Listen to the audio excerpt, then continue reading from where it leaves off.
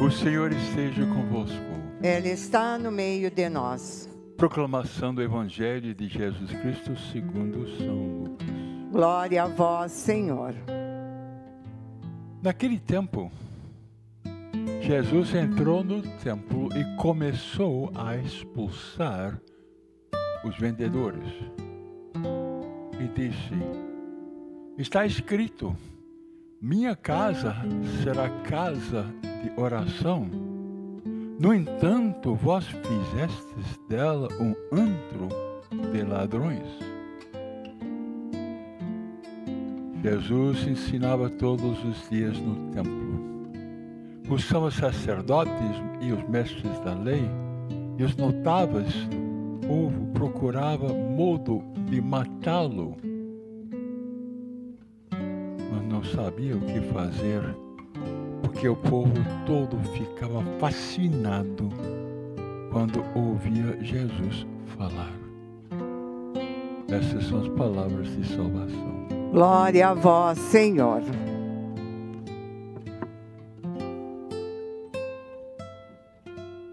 Jesus entrou no templo e começou a expulsar os vendedores. Lugar de vender coisas no templo. Ele expulsou os vendedores. Jesus liberta. Jesus expulsa de nós o que não presta. Sim? Com autoridade. Ele manda embora os demônios, a maldade. Ele liberta os dependentes e os viciados com autoridade. Agora, vocês sabiam que nós temos autoridade? Sim. Nós temos autoridade para expulsar também o mal. Escuta a palavra de Deus em Mateus 28. Jesus ressuscitou, apareceu aos apóstolos e aproximando-se disse: Toda autoridade me foi dada no céu e na terra. Ide e ensinai todas as nações. Batizai-os em nome do Pai, do Filho e do Espírito Santo. Ensinai-os a observar tudo o que eu vos prescrevi. Eis que estou convosco todos os dias, até o fim do mundo. Eis que estou convosco todos os dias até o fim do mundo. Quando Jesus diz toda a autoridade no céu e na terra foi me dado, e ide, é entendido que nós vamos com autoridade. Sim. Autoridade de Jesus, porque Jesus mora dentro de nós. E com a autoridade de Jesus, expulsamos o mal. Então, uma coisa é pedir, outra coisa é expulsar. Um cartão vermelho no futebol é expulsão, expulso. Não tem diálogo, é expulso. A mesma coisa, nós podemos, com atenção, com amor, expulsar uma criança que está mal você reza sobre a criança com fé e manda embora, expulso pelo preciosíssimo sangue de Jesus. A criança seja libertada. Uma pessoa viciada. Eu rezo muitas vezes assim. Pessoa viciada. Com a autoridade de Jesus, eu mando embora. Você é uma pessoa presa pelos vícios. Em nome de Jesus, expulso pelo poder do sangue de Jesus. Existem os pecados capitais, orgulho. E podemos expulsar de nós todo orgulho, vaidade rezar com as outras pessoas que sejam libertados, porque a pessoa presa pelo demônio de um orgulho, de uma vaidade incrível, uma avareza. Pode orar e, e tira da pessoa uma dependência de procurar, de ter isso aqui, que fica presa. O pecado prende as pessoas. E nós temos a graça e a bênção de orar, de interceder e de mandar embora o mal de inveja, de ciúmes, de ressentimento. Em nome de Jesus, eu mando embora de mim, eu mando embora desta outra pessoa que não perdoa. A inveja, a ira, pessoas com muita ira, muito, muita ira. Parece uma tentação da força do mal expulsamos a impureza, tanta impureza que tem por aí, e nós temos que mandar embora, expulsar isto pelo preciosíssimo sangue de Jesus, pela vitória da cruz de Jesus, mandamos embora, declaramos a libertação da pessoa presa, gula, pessoas viciadas com bebida, com, com drogas, com álcool, em nome de Jesus, pessoa presa, certamente presa, e nós expulsamos, a pessoa preguiça e não trabalha, não quer saber, e mandamos embora tudo isso.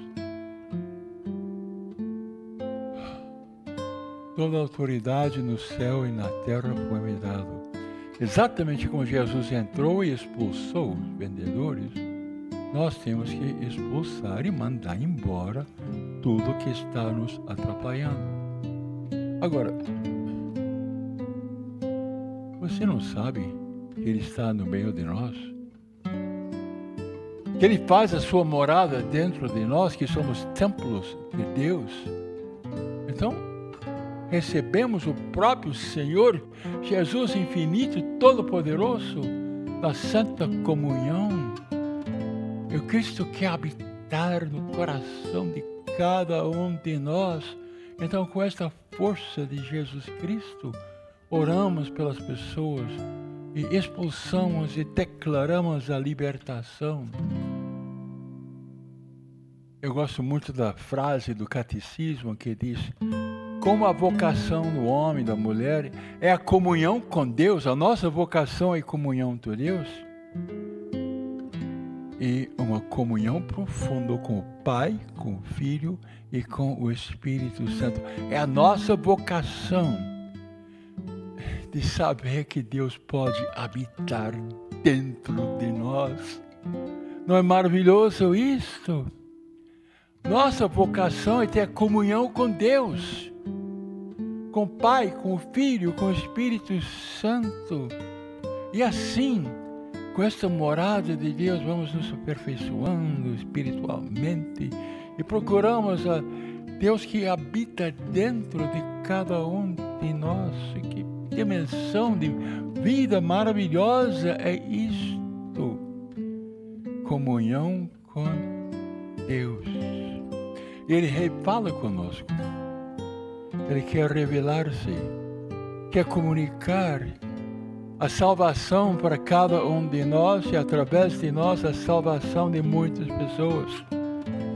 Deus tem um grande amor, grande amor por todos nós. Comunica conosco como amigo e nos convida a ter uma comunhão com Ele, uma íntima comunhão com cada um. Então, demônio não quer isso. Vem cada vício, cada problema, cada. Então, nós expulsamos, louvamos, agradecemos a Deus. Apocalipse 21. Eis a morada de Deus conosco. Eis a morada de Deus conosco. Que maravilha! Deus morando conosco. Deus habitará com eles. Eles serão o seu povo e ele será o Deus que está conosco. maravilhoso isso, que boa notícia, maravilha é isto. É a doutrina do Novo Testamento, que Deus vem habitar em habitação da Santíssima Trindade em cada um de nós, para que nós sejamos santificados, para que nós possamos ter uma comunhão, amigo com Deus, para que nós podemos participar da vida de Deus.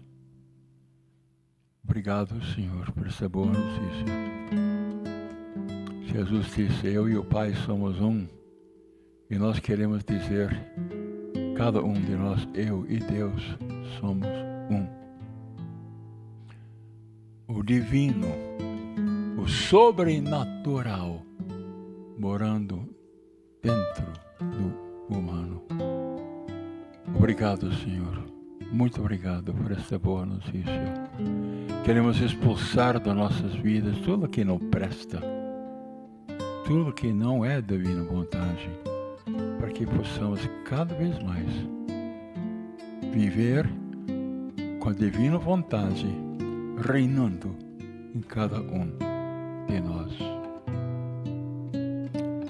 Silêncio, abaixe sua cabeça, faça sua oração.